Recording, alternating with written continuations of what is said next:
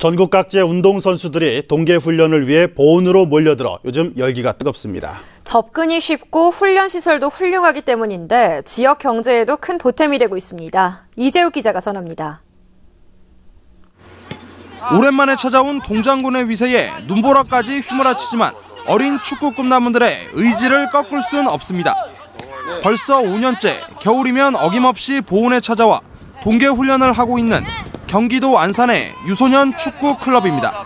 또 운동장이라든지 뭐 속박, 속식 이런 모든 것들이 다 그러니까 애들이 운동하기에 최적화돼 있는 곳이기 때문에 저희가 매년 찾고 있고요. 바로 옆 실내 육상 훈련장인 전천후 육상 경기장에도 선수들의 땀 냄새가 가득합니다. 추위와 눈보라를 막아주는 실내에 110m 길이 우레탄 육상 트랙을 갖춰 겨울 훈련도 끄떡 없습니다. 겨울 훈련할 때는 눈이 오면 훈련하지를 못했는데 여기 보온에 오니까 눈이 와도 실내에서 훈련할 수 있어서 좋아요. 접근성이 좋고 훈련장 시설이 좋다 보니 지난해에만 5만 명 넘는 선수들이 전지 훈련지로 보온을 선택했습니다.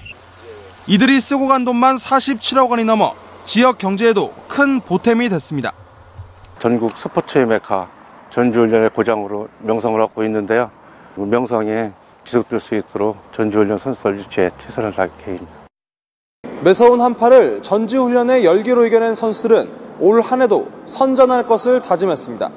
MBC 뉴스 이재욱입니다.